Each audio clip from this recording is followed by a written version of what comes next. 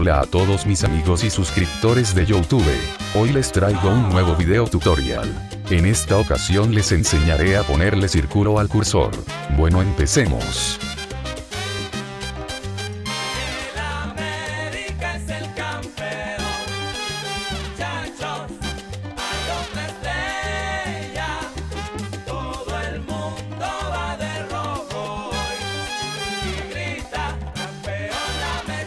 El link de la descargar estará en la descripción. Bueno. Una vez hecha la descarga. Nos quedará un archivo RAR como este. Le damos clic derecho y extraer aquí.